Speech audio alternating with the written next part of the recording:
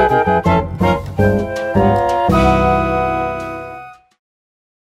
programação da Amped Sul é, será realizada uma mostra de documentários é, às 19h30 hoje, segunda-feira, e amanhã, terça-feira. E um dos documentários a serem exibidos é esse, Juventudes e Descolarização, que é o resultado das pesquisas do Observatório do Ensino Médio da Universidade Federal do Paraná, coordenado pela professora Mônica Ribeiro da Silva, que também coordenou esse documentário. Eu faço parte dele como roteirista e produtora, e a ideia desse documentário foi buscar personagens da cidade de Curitiba que deixaram a escola e por vários motivos sem estigmatizar essa desistência da escola.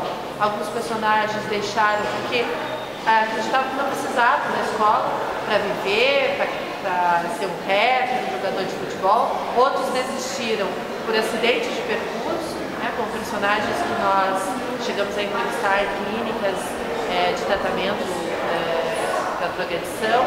Então ele busca trazer a escola como parte do percurso dessas pessoas e como parte da vida. Então a gente faz um convite